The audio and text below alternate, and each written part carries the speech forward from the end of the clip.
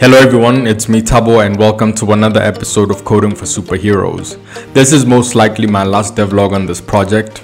This project has taken on many faces. I've gone back and forth developing two or three versions of it and I think it's time to lay to rest now. Most of you that have seen my last episode can remember that I was working on MOJS, but once more I decided to go with the first version because MOJS was overkill.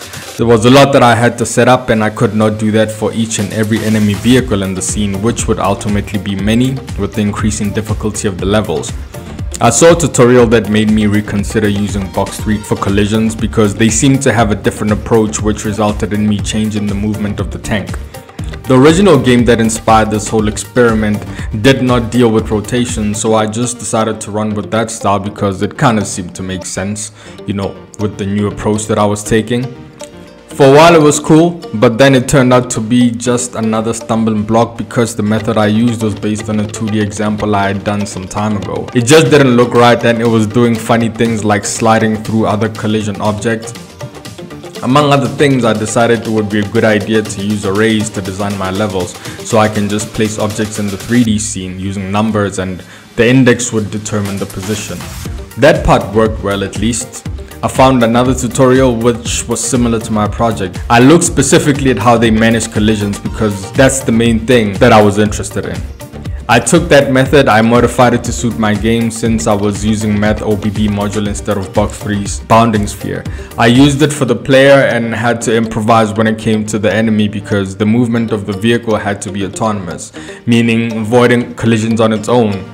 I came up with a solution where the enemy vehicle would make random rotations and proceed in the facing direction if it was free of collisions. It worked but had its flaws. Sometimes I would get stuck between collisions because it's just making random decisions but not intelligently. This was one of the big challenges but overall the whole project has been a very big learning process for me.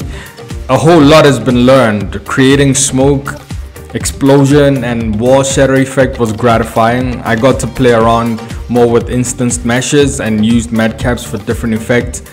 I want to revise everything that I've learned. I have so many ideas of where I want to go with this game. Whether I will develop it as a real game or not is still open. My original intent was just to create a tutorial from this experience. Please let me know in the comment section if there's any interest in this topic.